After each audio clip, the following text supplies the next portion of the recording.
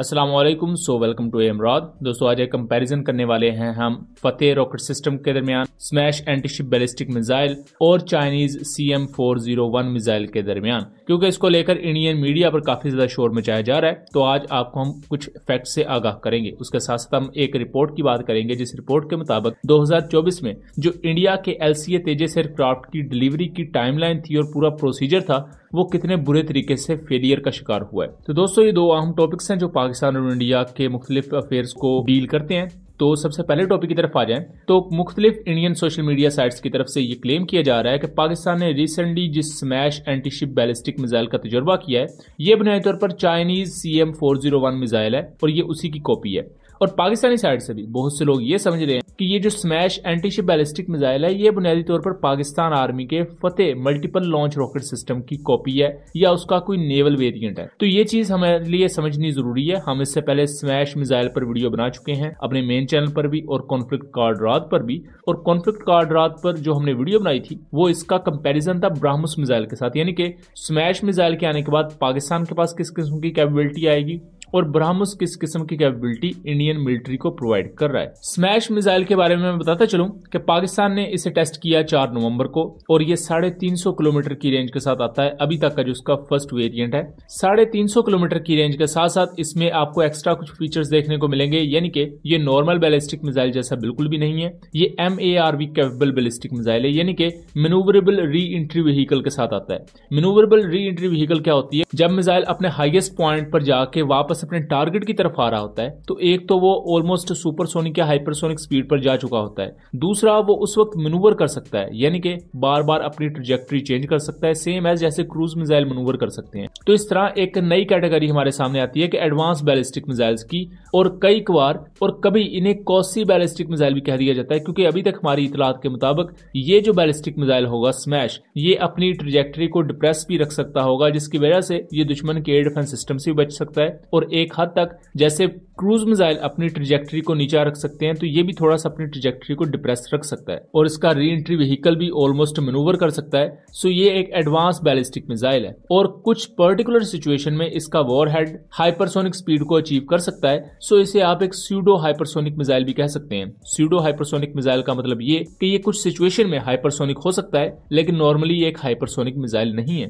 दोस्तों, इसके बाद जो हमारे पास आएगा स्मैश टू वो purely P two A two hypersonic missile होगा, पाकिस्तान नेवी का। लेकिन यहाँ अगर इसका हम जरा comparison C M four zero one से करें तो हमें बहुत ही ज़्यादा चेंजेस नज़र आते हैं। एक तो जो सेंट्रल एरिया है स्मैश मिसाइल का, उसमें आपको फिन्स देखने को मिलेंगे, जो कि Chinese C M four zero one में मौजूद नहीं है।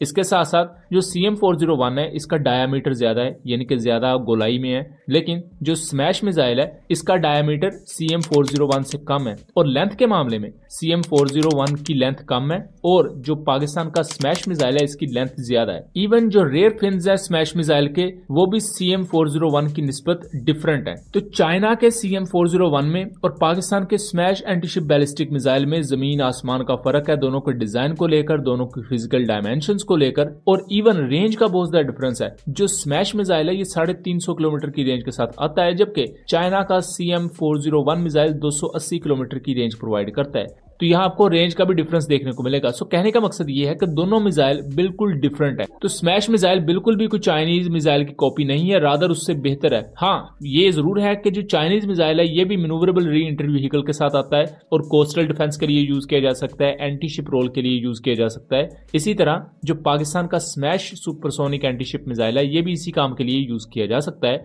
और इवन जो सबसे अच्छी चीज़ है कि मनूवरेबल री एंट्री व्हीकल के होने की वजह से इसकी एक्यूरेसी बहुत ज़्यादा अच्छी है जैसे क्रूज मिसाइल्स की होती है और एक्यूरेसी बहुत अच्छी होने की वजह से ये इवन मूविंग टारगेट्स यानी कि शिप्स को और इवन जो इंडियन एयरक्राफ्ट करियर्स हैं, ये उनको भी निशाना बना सकता है। और मनूवरेबल होने की वजह से और सुपरसोनिक स्पीड या इवन कुछ पर्टिकुलर सिचुएशन में अगर हाइपरसोनिक की जाता है तो इंडिया के जो मुख्तलिफ़ सर्फेस टू मिसाइल सिस्टम है, जैसे कि बरक एट है, उनके लिए इसको रोकना काफ़ी ज़्यादा मुश्किल होगा। अब इसी तरह अगर इसका कंपेरिजन हम कर लें पाकिस्तान के Fateh multiple launch rocket system के साथ, फतेह रॉकेट सिस्टम की जो एप्लीकेशन है, वो बिल्कुल डिफरेंट है। फतेह रॉकेट सिस्टम को बनाने की जो आइडियोलॉजी है वो बिल्कुल डिफरेंट है। और Fateh rocket system smash missile system की नस्बत एक बड़ा रॉकेट है। और उसके साथ साथ ये इसका डायामीटर भी पाकिस्तान के स्मैश से आई बिलीव कि ज़्यादा है। सो so, फतेह एम के साथ इसको कंपेयर करना या ये कहना कि ये उसका नेवल वेरिएंट है आई डोंट थिंक सो कि ऐसा कुछ है। Fateh multiple launch rocket system Pakistan का एक सेपरेट वेपन सिस्टम है। जबकि जो ये smash anti ship ballistic missile है ये पाकिस्तान नेवी की तरफ़ से एक सेपरेट वेपन सिस्टम है जो कि पाकिस्तान अपनी मुख्तलिफ़ वॉरशिप्स पर कैरी करेगा। अब दोस्तों हम अपने दूसरे टॉपिक की तरफ़ आ जाएँ तो रिसेंट कुछ रिपोर्ट्स के मुताबिक 2024 में इंडिया की हिंदुस्तान एरोनॉटिकल लिमिटेड ने ये कमिट किया था कि वो इंडियन एयरफोर्स को 18 हाल तेजस एयरक्राफ्ट डिलीवर करेंगे। लेकिन इस साल सिर्फ़ दो हाल तेजस एयरक्राफ्ट ही डिलीवर किए जा सके जिसको लेकर बहुत ज़्यादा बैकलैश भी देखने को आ रहा है। इंडियन एयरफोर्स में गुस्सा भी पाया जा रहा है कि एक तो हिंदुस्तान एयरोनॉटिकल लिमिटेड की तरफ़ से डिले है। लेकिन यहाँ गुस्सा हिंदुस्तान एयरोनॉटिकल लिमिटेड से भी ज़्यादा अमेरिका पर है इंडिया को, क्योंकि अमेरिकन कंपनी जनरल इलेक्ट्रिक जिसने इंजन प्रोवाइड करने थे GE F four O four engine वो उन्होंने टाइम पर प्रोवाइड नहीं किए। और ऊपर से अमेरिका की तरफ़ से डिले तो रहा ही, लेकिन उसके साथ साथ डेनमार्क ने चार्ज इंजन एम्पलीफायर पर बैन लगा दिया, जिसकी वजह से मामला मजीद पेचीदा हुए।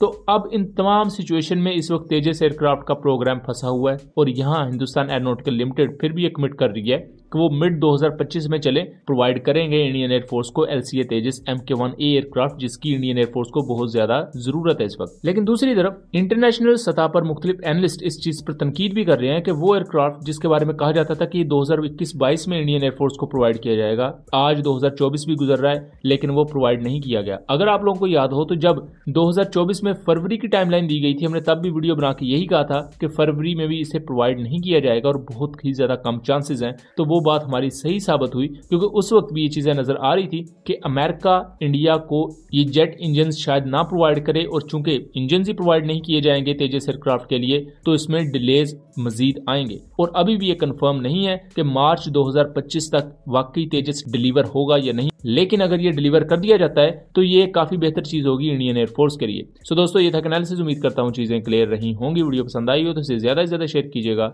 एंड चैनल को सब्सक्राइब कीजिएगा। मिलेंगे अगली वीडियो में, तब तक के लिए अल्लाह हाफिज।